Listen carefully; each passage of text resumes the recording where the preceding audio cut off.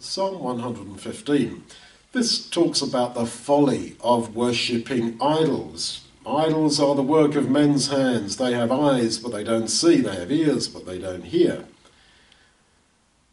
Those who make them will be like them. Yes, everyone who trusts in them. Israel trust in Yahweh. That is not in the idols, but in God. Those who make idols become like them. Those who worship them, trust in them, and become like them. You become like that which you worship.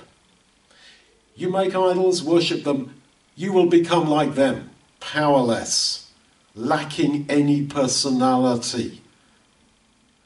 And so it is. If you have as your idol some particular drug addicted pop star, you will, in essence, become like that person.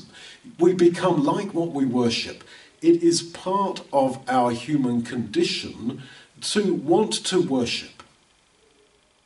And we want to be part of something bigger than ourselves and to worship. It is actually in us to want to do that. And so, what are you going to worship? That becomes the key issue.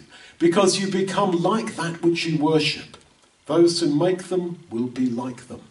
And this is said several times actually in, in the scriptures. So then, idols are vanities. That's what they're called. If you glorify and worship vanity, empty things, you will become a vain and empty person. And actually, everything that there is in the world to worship is vanity, is empty. You worship God, you will become like Him. If you worship and glorify the Lord Jesus as your hero, you will become like Him. So, this is where worship does not mean music, because not all of us are musical. Worship means to adore. It means that I love, I so respect this, and I want to be like that. I wish I could be like that, but I'm not. But I so love and respect this or that. Yeah, that is how we feel towards God and the Lord Jesus. Let them be your focus for worship, and you will become like them.